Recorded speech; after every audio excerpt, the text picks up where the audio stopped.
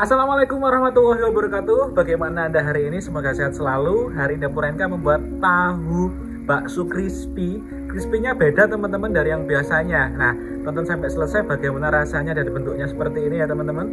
Ini enak banget, modalnya murah, dijual bisa mahal sekali. Saya cocolin, saya incipin ya. Bismillahirrahmanirrahim. Hmm.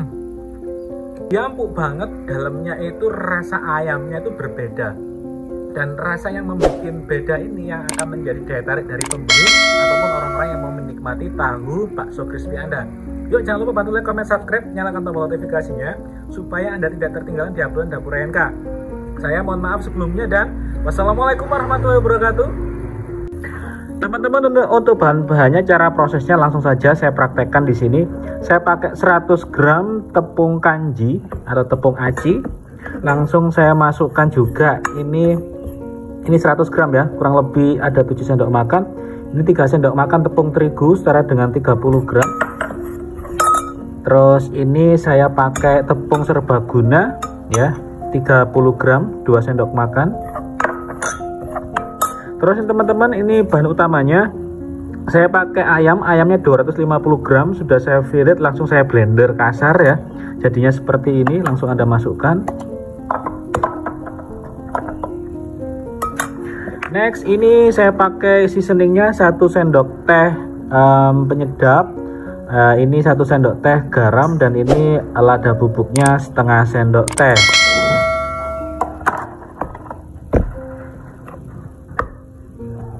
Next saya masukkan 4 uh, eh, siung bawang merah yang sudah saya iris tipis-tipis lalu saya goreng jadinya seperti ini. Tangan anda harus sudah bersih ya.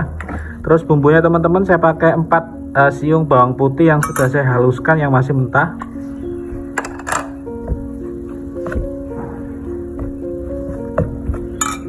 Lalu saya pakai daun seledri dan juga daun bawang. Ada tiga batang masuk semuanya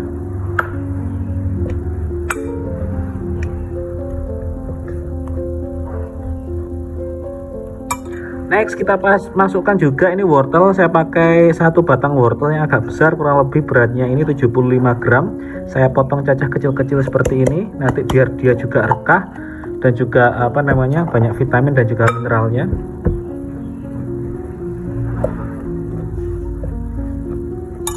Next saya kasih kecap asinnya satu sendok. Makan langsung aja ya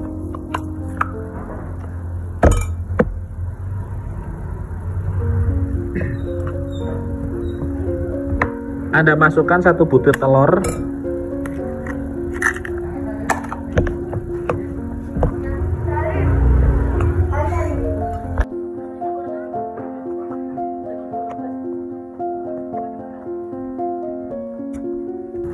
Kalau sudah seperti ini tercampur rata Anda kasih apa namanya air teman-teman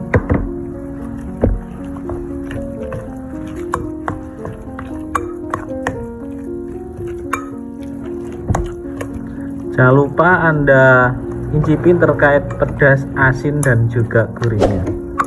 Saya menggunakan air tadi kurang lebih eh, 75 ml next kalau sudah seperti ini kita masuk ke dalam proses selanjutnya. Teman-teman ini adonannya sudah jadi dan saya siapkan juga ini uh, tahu tahu kulit yang gede-gede teman-teman. Kalau ukurannya kurang lebih uh, dengan diameter sekitar uh, 7 8 cm ini Anda masukkan saja ke dalam uh, si tahu Anda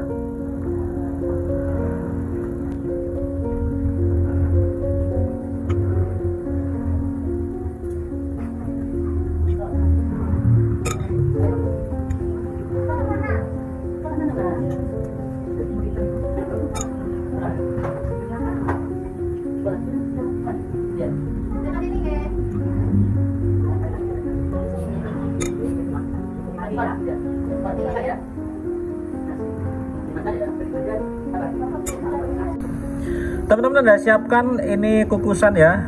Nah ini anda kukus selama kurang lebih 20 menit si tahunya. Kalau anda suka pedas bisa anda kasih varian pedas di sini. Kalau anda ingin membuat crispy jadi nanti masih ada proses lagi. Tapi kalau untuk tahu bakso dengan apa iringan tahu atau bakso yang pada umumnya cukup begini saja dia sudah siap untuk Anda hidangkan dan Anda nikmati bersama keluarga Anda. Anda kukus teman-teman selama kurang lebih 20 menit. Setelah 20 menit ini Anda buka. Loh dia mengembang sekali teman-teman. Anda matikan dan juga Anda diamkan dulu sebelum Anda masuk ke proses selanjutnya. Ini sebenarnya sudah matang sudah siap untuk Anda makan. Kalau Anda membuat yang crispy lagi kita masuk ke dalam proses berikutnya. Teman-teman kalau sudah dingin seperti ini langsung aja Anda belah menjadi dua. Ini kalau Anda jual pasti mahal ya teman-teman karena ini besar-besar banget. Uh, di sini saya mungkin yang uh, versi seribuan saja kalau Anda jual. Tapi tergantung dari lokasi Anda juga sih ini saya potong menjadi dua. Nah dia kan kelihatan bantet ya. Maksudnya bantet ini bantet isiannya. Nah terserah anda jual berapaan. Ini untuk cemilan juga enak banget. Loh kan loh gede-gede teman-teman. Ini saya ambil yang paling gede banget ya.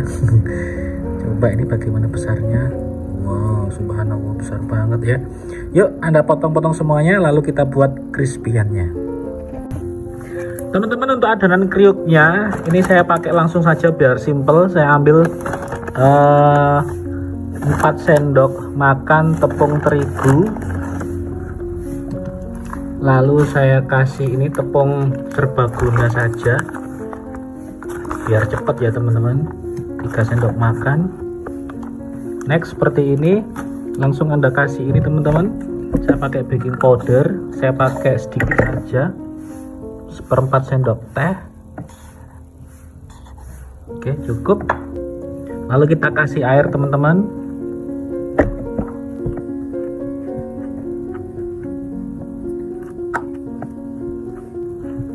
Anda aduk sampai rata. Saya pakai airnya ini 150 ml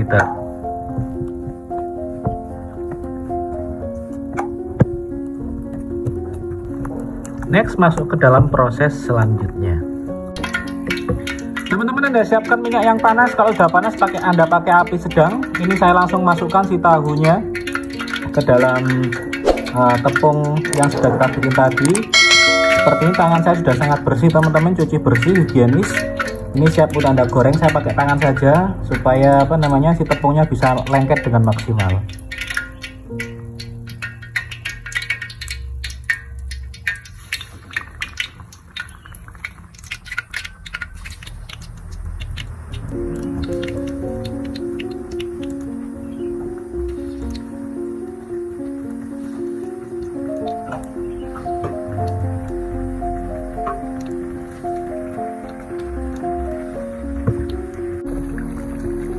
teman-teman kalau dia sudah setengah matang seperti ini anda balik saja secara langsung. Nah ini crispy banget teman-teman.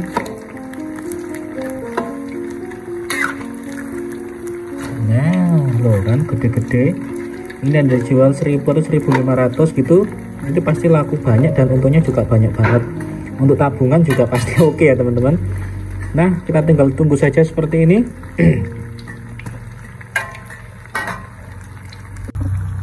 Kalau posisi dia sudah golden brown dan antara sisi kanan kiri sudah matang, ini siap untuk Anda angkat. Anda bersihkan tepung-tepung terigu yang nempel-nempel ini teman-teman. Jadi nanti saat penggorengan kedua nanti dia nggak nempel dan dia nggak gosong. Terima kasih sebelumnya, mohon maaf dan jangan lupa bantu like, comment, subscribe. Semoga Anda sehat selalu, makin sukses, makin berkah. Amin, amin, ya rabbal alamin.